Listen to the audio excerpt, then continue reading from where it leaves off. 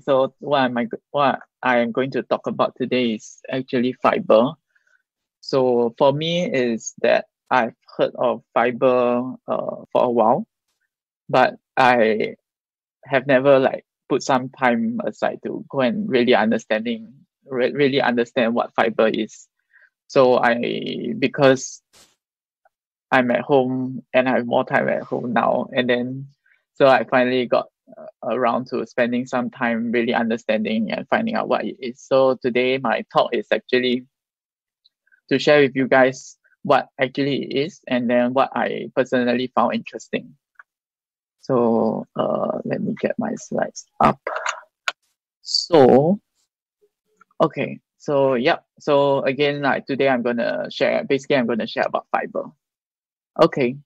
So so before I start, uh, I'd like to introduce myself. So my name is Kang Sheng, and I'm a software developer working in Shopify.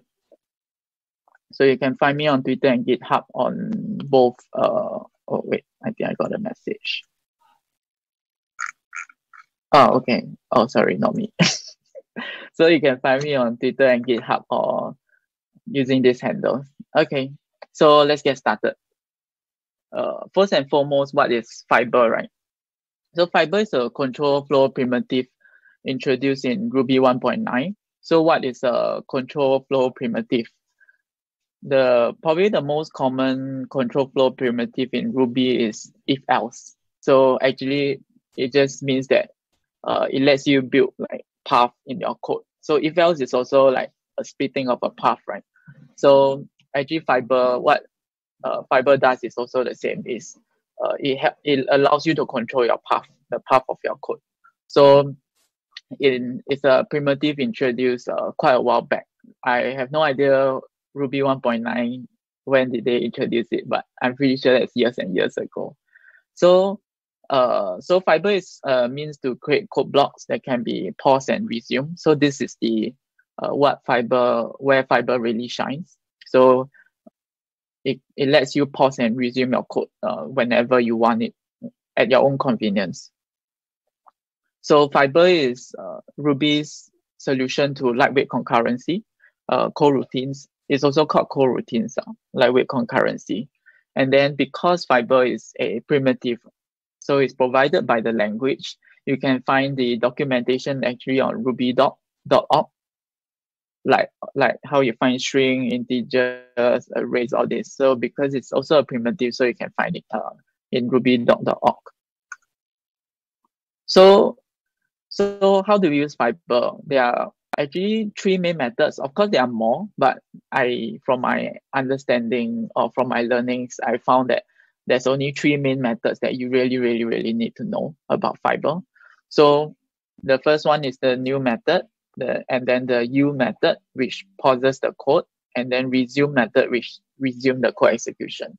So like what I said just now, the beauty of Fiber is to pause and resume code uh, at your own convenience. So yield is for you to pause and then resume is for you to run the code. So I'll be going through uh, each of these three methods uh, using this exact same code example uh, on the right. So the first one, new, new is actually uh, I'm sure you all know that new is the standard operator to create new Ruby objects. And then Ruby is all about OOP, right? It's an entirely OOP language. So likewise, Fiber is uh, you need to instantiate an instance of Fiber in order to use it. So to create a Fiber, you have to pass a block in while calling new. So in this case, uh, the the block uh, is actually consists of two puts and one yield. So it's a very uh, simple example just to showcase uh, what is it about. So the next one is the yield method. So yield is the pause button. So it pauses the code execution. So when then the uh, is then the code execute when the code execution hits yield, it will pause the code execution at that exact point, and then the next time you resume uh, this fiber, right, it will run from this yield method downwards again. Okay, so this is the pause button. Then the last one is the resume method. So if it's the first time the resume is if it's the first time you call resume on that instance of the fiber, then it will simply just start executing the code from the top. If it's called before, means it's got paused before, right? Then you call resume again, then you will just start from the yield that that is paused at. Yeah. So uh so in this example, this is the same example. Uh so in this example, you can see that when we call resume, uh because we never paused before, right? It's a new fiber. Then it prints checkout one and then it pauses there. It pauses at the yield. Then when we call resume again, then you will just print checkout two, and then the fiber uh, ends. Basically, you can when you call resume again, then you will it will uh it will error out. It will throw an error. Oh, okay. I just saw a comment. Somebody said that uh can do yield after init. Okay, uh, maybe I need to check back on this again. Or when you guys like uh try again because it's my first time like digging into it. Maybe I've I've not uh encountered this case. But okay, thanks for the heads up. Uh, okay, so so for people familiar with threads, uh, you might ask what the difference, what is the difference between threads and fiber? Uh, for I personally don't have much experience uh, with Ruby threads. Uh, I have really not really have the opportunity or the use case to like use it myself. But then in my in my learning of during five during trying to learn fiber, this question keep coming up. What is the difference between uh, threads and fiber? So uh, from what I can gather is that firstly threads runs in the background while fiber runs as the main program when it is executing.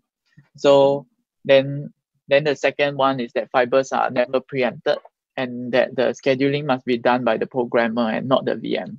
So which means that the programmer must have more control compared to threads. So in threads, uh, from my understanding is that the OS uh, will will pause and start threads uh, as as uh, like basically the OS will decide. But then in Fiber, in Fiber's case, the programmer has to decide when to press the pause button and when to uh, run the code.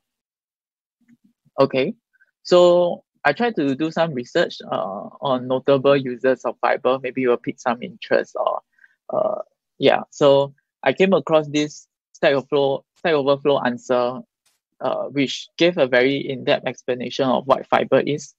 And the person said that enumerators are probably the number one use case of fibers in Ruby.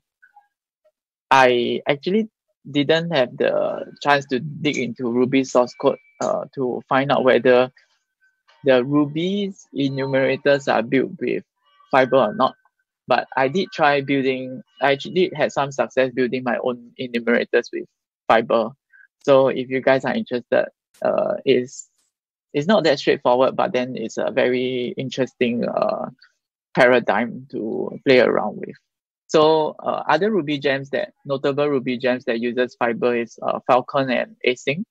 So Falcon is a um, Falcon is a like Puma is is a is a oh shit suddenly slip my mind. Basically, it's a comparable to Puma. Basically, you can plug Falcon into Rails or so. Instead of running on Puma, you can run on Falcon.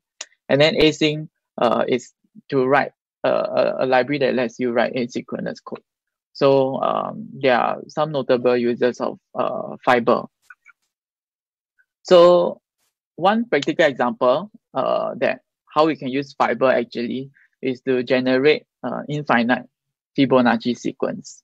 Uh, I found that fiber is actually useful to uh, run infinite sequence. So you don't want to you want to uh, you don't want to load the entire sequence into memory, which uh, which will take up your all the memory, right? But instead you can like step by step and generate the next one, next one, next one.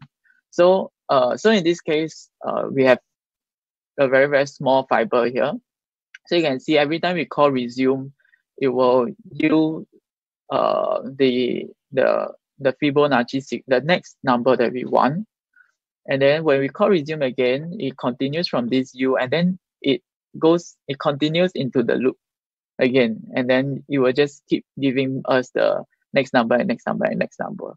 So uh, as so like the idea that I found very useful that is because it's infinite means that uh you just need to leave this code there and then every time you you want the next number you can just call it instead of having it loaded generated pre-generated in in your memory.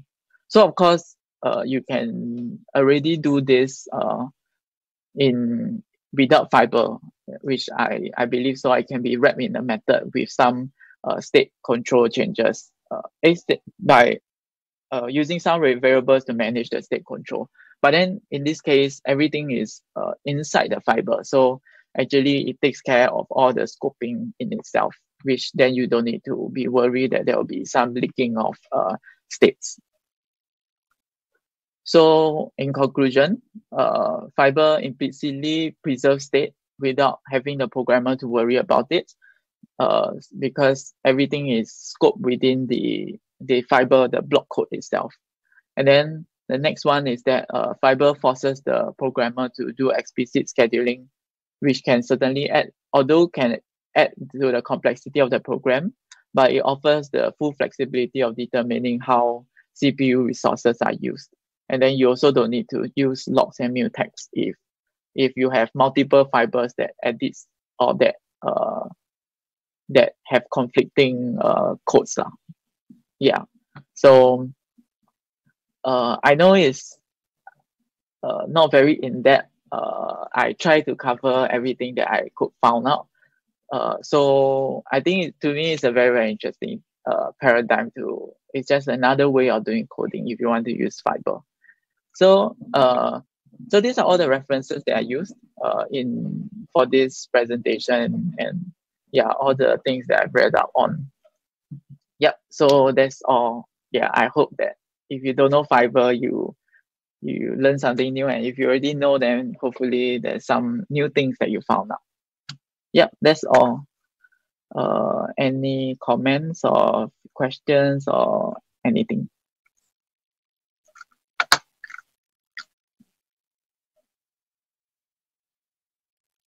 Mm, i suppose not. Okay since uh, then we let's just continue. So actually, we only have uh two talks for today, uh, two sharing. Uh, yeah. So now's the time for job shout out. If anybody have any job offers or any lobang that they want to share,